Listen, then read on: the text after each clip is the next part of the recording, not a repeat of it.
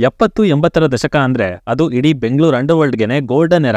ಆ ಕಾಲಘಟ್ಟದಲ್ಲಿ ರಾಜಕಾರಣಿಗಳು, ರೌಡಿಗಳು ಹೇಗಿದ್ರು, ಅವರಿಬ್ಬರ ಒಡನಾಟ ಹೇಗಿತ್ತು ಅನ್ನೋದ್ರ ಮೇಲೆನೆ ಎಷ್ಟೋ ಸಿನಿಮಾಗಳು ಬಂದು ಹೋಗಿದವೆ. ಅಂಡ್ ಅದರ ಮೇಲೆ ಮೀಡಿಯಾದವರ ಸ್ಪೆಷಲ್ ಕವರ್ ಸ್ಟೋರಿಗಳನ್ನ ನೋಡಿ ನೋಡಿ ನಮ್ಮಲ್ಲೇ ಒಂದು ಸ್ಯಾಚುರೇಷನ್ ಪಾಯಿಂಟ್ ರೀಚ್ ಆಗಿ ಹೋಗಿತ್ತು. ತೋರ್ಸೋದಾದ್ರೆ ಹೊಸ್ತೇನಾದ್ರೂ ಇರ್ಲಿ ಆರೆಲ್ಸ್ ಜಯರಾಜ್ ಕಥೆನ ಮುಟ್ಟೋದೇ ಬಿಟ್ಟುಬಿಡಿ ಅಂತ. ಸೊ, ಆ ಥರದ್ದೇ ಒಂದು ವಿಭಿನ್ನವಾದ ಪ್ರಯತ್ನ ಮಾಡಿರೋ ಈ ಸಿನಿಮಾ ತಂಡ ತಮ್ಮ ಕಥೆಲೂ ಅಷ್ಟೇ ವಿಭಿನ್ನತೆನ ಉಳಿಸ್ಕೊಂಡಿದ್ಯಾ ಹೇಳ್ತೀನಿ ಬನ್ನಿ. ಕೈವಾ. ಇದು ಧನ್ವೀರ ಹಾಗೆ ಮೇಘಾ ಶೆಟ್ಟಿ ಅವರು ಆಕ್ಟ್ ಮಾಡಿ ಬೆಲ್ ಬಾಟಮ್ ಖ್ಯಾತಿಯ ಜಯತೀರ್ಥ ಅವರು ಡೈರೆಕ್ಟ್ ಮಾಡಿರುವಂತ ಸಿನಿಮಾ. ಕೈವಾ ಅಂಡ್ ಸಲ್ಮಾ ಇಲ್ಲಿರೋ ಎರಡು ಮುಖ್ಯ ಪಾತ್ರಗಳು. ಅದಕ್ಕಿಂತ ಮುಖ್ಯವಾಗಿ ಇಬ್ರು ಪ್ರೇಮಿಗಳು. ಆರಂಭದಿಂದನೂ ಅವರ ಪ್ರೀತಿಗೆ ಯಾವುದೇ ಅಡೆತಡೆಗಳಿರೋದಿಲ್ಲ. ಈವನ್ ಕೆಲವೊಂದು ಲಿಮಿಟೇಷನ್ಸ್ ಇದ್ರೂ ಅದನ್ನ ಒಪ್ಕೊಂಡು, ಅನುಸರಿಸಿಕೊಂಡು ಇಬ್ರು ಖುಷಿ ಖುಷಿಯಾಗಿ ಇರ್ತಾರೆ. ಆದ್ರೆ ಒಂದು ದಿನ ಅನ್ಎಕ್ಸ್ಪೆಕ್ಟೆಡ್ ಆಗಿ ನಡೆಯೋ ಒಂದು ಕೆಟ್ಟ ಘಟನೆಯಿಂದ ಇಬ್ಬರ ಬದುಕಿನ ಸ್ಥಿತಿ, ಗತಿನೇ ಬದಲಾಗ್ ಹೋಗ್ಬಿಡತ್ತೆ ಸೊ ಅದು ಆಗಿದ್ಯಾಕೆ ಅದಕ್ಕೆ ನಮ್ಮ ಹೀರೋ ಯಾವ ತರ ರಿಯಾಕ್ಟ್ ಮಾಡ್ತಾ ಹೋದ ಅಂಡ್ ಅಲ್ಲಿಂದ ಕೊನೆಗೆ ಕಥೆ ಎಲ್ಲಿಗೆ ಹೋಗಿ ನಿಲ್ತು ಅನ್ನೋದನ್ನ ನೀವು ಸಿನಿಮಾ ನೋಡೇ ತಿಳ್ಕೋಬೇಕು. ಇನ್ನ ಆಕ್ಚುಲ್ ಆಗಿ ಫಿಲ್ಮ್ ಹೇಗಿದೆ, ನನಗೇನ್ ಇಷ್ಟ ಆಯ್ತು, ಏನ್ ಕಷ್ಟ ಆಯ್ತು, ಇದೆಲ್ಲದ್ರ ಬಗ್ಗೆನೂ ಡೀಟೇಲ್ಡ್ ಆಗಿ ಮಾತಾಡ್ತೀನಿ. ಆದ್ರೆ ಅದಕ್ಕೂ ಮೊದಲು ಚಾನಲ್ಗೆ ಹೊಸಬ್ರಾಗಿದ್ರೆ ಸಬ್ಸ್ಕ್ರೈಬ್ ಮಾಡ್ಕೊಂಡು ಪಕ್ಕದಲ್ಲಿರುವಂತ ಗಂಟೆನ ಠಣ್ ಅಂತ ಬಾರಿಸ್ಬಿಡಿ, ಆಗಾಗ ಸಿಗ್ತಾ ಇರೋಣ. ಅಂಡ್ ವಿಡಿಯೋ ಇಷ್ಟ ಆದ್ರೆ ಖಂಡಿತವಾಗ್ಲೂ ಒಂದು ಲೈಕ್ ಕೊಟ್ಟು ಸಪೋರ್ಟ್ ಮಾಡಿ.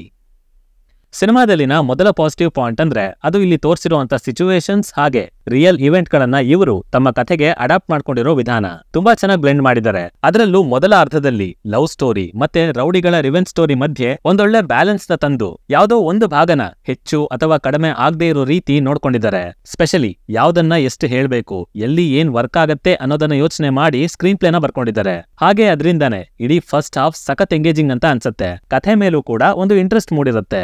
ಇನ್ನ ಎರಡನೇದಾಗಿ ಇದರ ಮ್ಯೂಸಿಕ್. ಹಾಡುಗಳಲ್ಲಿ ಜಯತೀರ್ಥ ಅವರ ಇಂಟ್ರೆಸ್ಟ್ ಏನು ಅನ್ನೋದು ಅವರ ಹಿಂದಿನ ಸಿನಿಮಾಗಳನ್ನ ನೋಡಿದವ್ರಿಗೆ ಗೊತ್ತಿರತ್ತೆ. ಸೊ ಅದೇ ತರ ಇಲ್ಲೂ ಕೂಡ ತಮ್ಮ ಫ್ಲೇವರ್ನ ತಂದಿದ್ದಾರೆ, ತರಿಸಿದ್ದಾರೆ. ಅಂಡ್ ಅದಕ್ಕೋಸ್ಕರ ಮ್ಯೂಸಿಷಿಯನ್ ಅಜನೀಶ್ ಲೋಕನಾಥ್ ಅವ್ರನ್ನ ಡೆಫಿನೆಟ್ಲಿ ಅಪ್ರಿಷಿಯೇಟ್ ಮಾಡಬೇಕಾಗುತ್ತೆ.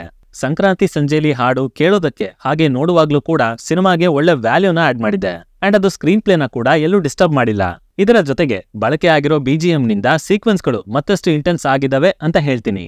ಪರ್ಫಾರ್ಮೆನ್ಸ್ ವಿಷಯಕ್ಕೆ ಬಂದ್ರೆ ಮೇಘಾ ಶೆಟ್ಟಿ ಅವರು ಪರ್ಸ್ನಲಿ ನನಗೆ ತುಂಬಾನೇ ಇಂಪ್ರೆಸಿವ್ ಅಂತ ಅನ್ಸಿದ್ರು. ನೋಡೋದಕ್ಕೆ ಕ್ಯೂಟ್ ಆಗಿ ಕಾಣ್ತಾರೆ ಅಂಡ್ ಸಿಚುವೇಶನ್ನಲ್ಲಿ ಎಮೋಷನ್ಸ್ ತುಂಬಿಕೊಂಡಾಗೆಲ್ಲ ಅದನ್ನ ಅವರು ತಮ್ಮ ಕಣ್ ಸನ್ನೆಯಿಂದಾನೆ ಚೆನ್ನಾಗಿ ಎಕ್ಸ್ಪ್ರೆಸ್ ಮಾಡಿದ್ದಾರೆ.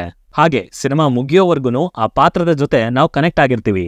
ಇನ್ನ ರಮೇಶ್ ಇಂದಿರಾ ಅವರ ಗೋವಿಂದಣ್ಣ ಪಾತ್ರನೂ ಅಷ್ಟೇ. ಮೊದಮೊದಲು ಲೈಟ್ ಆಗಿ ಇಂಟ್ರೆಸ್ಟ್ ಹುಟ್ಟಿಸ್ತು. ಆದ್ರೆ ಓವರ್ ಆಲ್ ಹೆಚ್ಚು ಡಿವಿಯೇಷನ್ಸ್ ಇಲ್ದೇನೆ ಆ ಪಾತ್ರನ ನಾರ್ಮಲ್ ಆಗಿ ಫಿನಿಶ್ ಮಾಡ್ಬಿಟ್ಟಿದ್ದಾರೆ. ಅಂಡ್ ಅಷ್ಟರೊಳಗೇನೆ ಅವ್ರ ಕೈಯಲ್ಲಿ ಏನೇನ್ ಸಾಧ್ಯ ಇತ್ತೋ ಅದೆಲ್ಲದನ್ನು ಮಾಡಿ ಮುಗಿಸಿದರೆ ಇಷ್ಟ ಆಯ್ತು. ಬಟ್ ಸ್ವಲ್ಪ ಕಷ್ಟ ಆಗಿದ್ದು ಧನ್ವೀರ ಅವರ performance first half was okay ಸಂದರ್ಭಕ್ಕೆ ತಕ್ಕ ಹಾಗೆ ಹೊಂದ್ಕೊಂಡೇ ಹೋಗಿದ್ದಾರೆ. ಆದ್ರೆ ಇಂಟರ್ವಲ್ ಮತ್ತೆ ಸೆಕೆಂಡ್ ಹಾಫ್ ಅಲ್ಲಿ ಅವರ ಪರ್ಫಾರ್ಮೆನ್ಸ್ ತುಂಬಾನೇ ಫ್ಲಾಟ್ ಆಗೋಯ್ತು. ಅಂಡ್ ಎಸ್ಪೆಷಲಿ ತುಂಬಾನೇ ಪೊಟೆನ್ಶಿಯಲ್ ಇದ್ದಂತ ಸೀನ್ಸ್ ನಲ್ಲೂ ಕೂಡ ಹಾಗೆ ಸುಮ್ನೆ ಮ್ಯಾನೇಜ್ ಮಾಡ್ಕೊಂಡು ಹೋಗಿದ್ದಾರೆ. ಅಷ್ಟು ಫೀಲ್ ಆಗ್ಲೇ ಇಲ್ಲ.